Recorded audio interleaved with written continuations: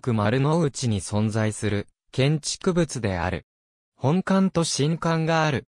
ここでは、同建物の敷地に、かつて存在した東京会場ビルディングの旧館及び新館についても記す。また、東京都千代田区大手町にあった東京会場ビルディング別館についても記す。東京海上火災保険は1895年、東京市麹町区八重洲町において三菱第2号館が完成したことに伴い、同年7月をもって、本店を事業発祥の近山町から同建物に移転したが、業務の拡大とともに共愛を告げるに至ったので、新社屋の建設を図り、建設用地として東京市麹町区永楽町1丁目1の敷地1467.139坪三菱合資会社より借用した。かくして、前期の地において1914年2月28日に寄港され、1918年9月20日に竣工し、東京海上ビルディングと命名された。日本で初めて建物の名称にビルディングを称したのは同建物であったとされる。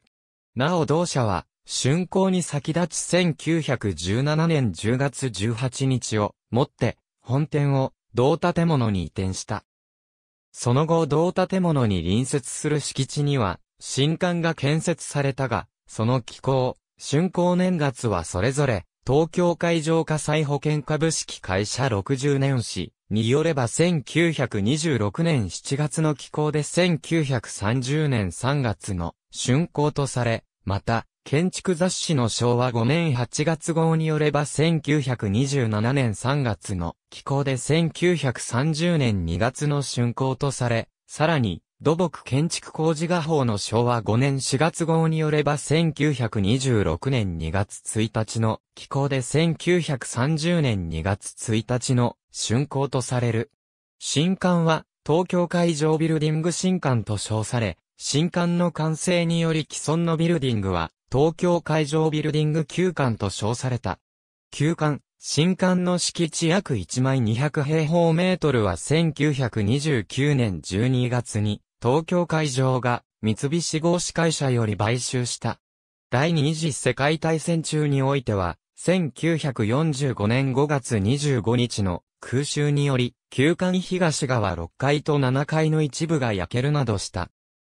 日本が敗戦した後の1945年9月10日に、至っては、旧艦、新艦ともに占領軍が接収し、この期間、旧艦は海上ホテルと称され、婦人宿舎として、新艦はファーイストエアーフォーセス本部としてそれぞれ供され、1956年1月に、旧艦が接収解除された後、同年7月新艦も接収解除された。旧館は本館への建て替えのため1966年12月12日より取り壊しに着工され、この際には振動実験、破壊実験並びに火災実験が行われた。旧館建て替え後、新館も高層建物に建て替えられた。旧館は地下室のない地上7階建ての鉄骨レンガ構造で、延べ床面積は約17,100平方メートルの本館、地下1階、地上3階建ての鉄筋コンクリート構造で、延べ床面積は約1800平方メートルの付属化、平屋建ての付属建物の3建物からなっていた。設計は、曽根中条建築事務所、構造顧問は、内田正造にそれぞれ移植された。新館の設計も、同事務所によるもので、構造設計は、内藤多中が担当した。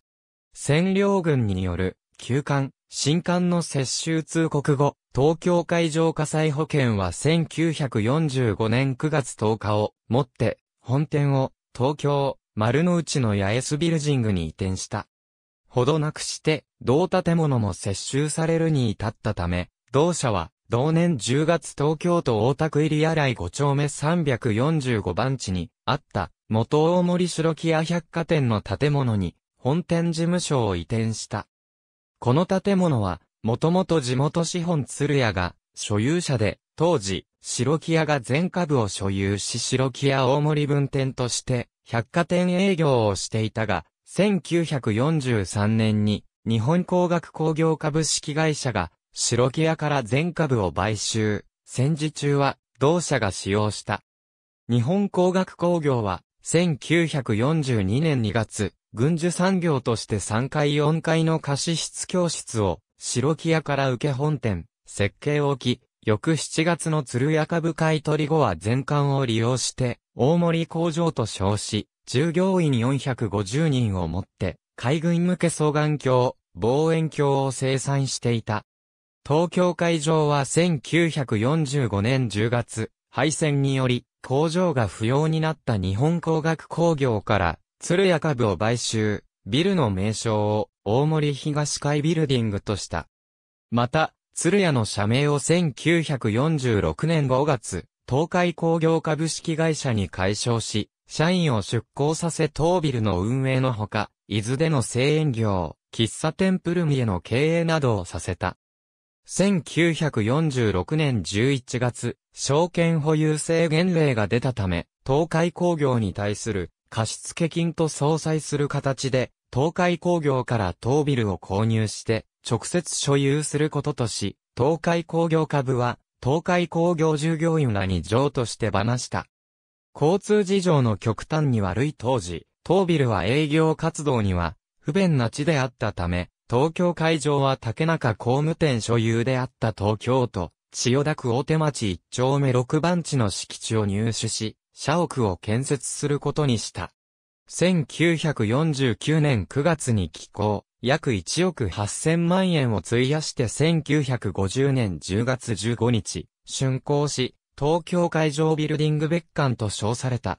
鉄骨鉄筋コンクリート構造の地下1階、地上6階建て、延べ床面積は79,728平方メートルであった。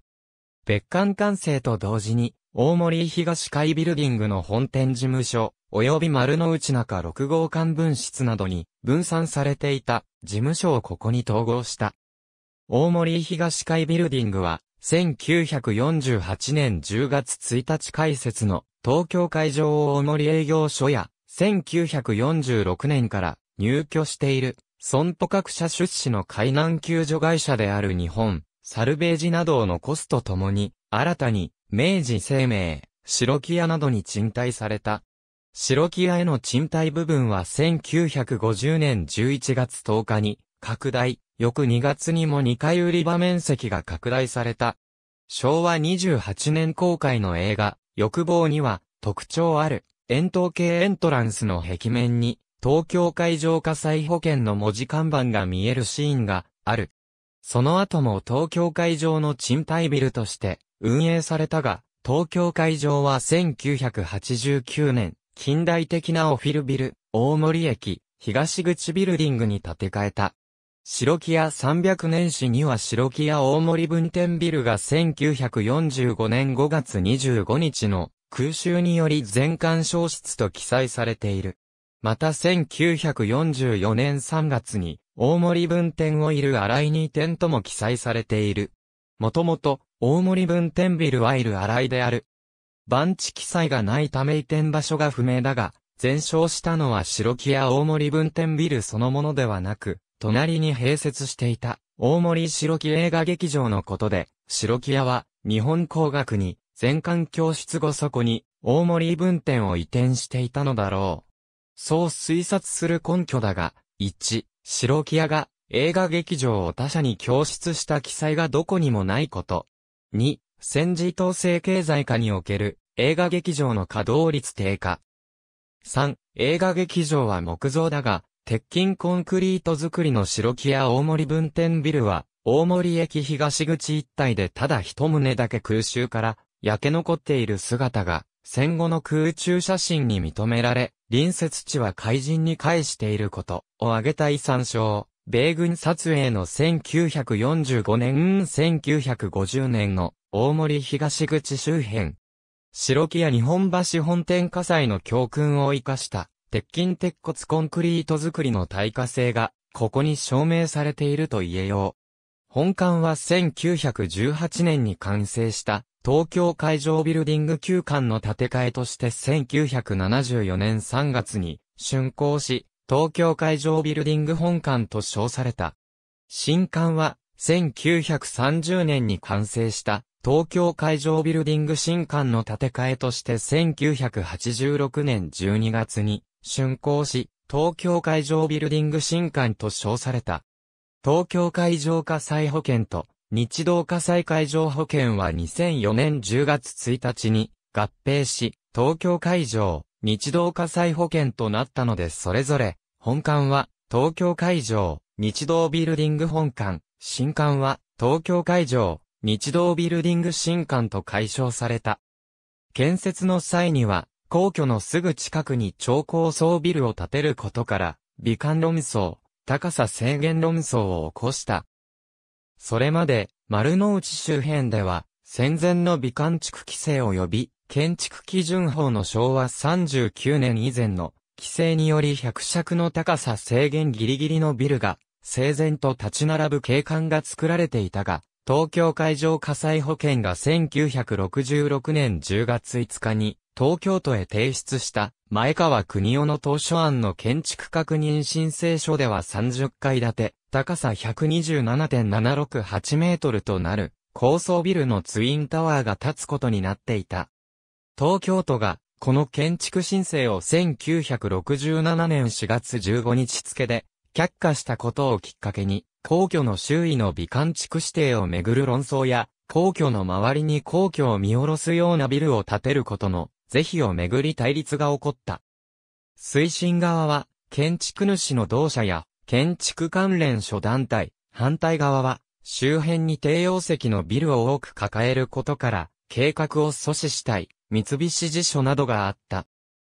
同社は1967年6月5日付で、東京都建築審査会に不服を申し立て、同年9月26日、建築確認申請を却下した同年4月15日付処分を取り消しとする採決がされ、一旦は勝利したが、最終的にはツインタワーから一つだけのビルにした上、当初の30階建てを25階建て、高さ99.7メートルに変更する。計画変更申請を1970年9月11日付で、東京都を通して、建設大臣宛てに提出し、同年9月24日、建設大臣がこれを認定したことで、東京都との争いを決着した。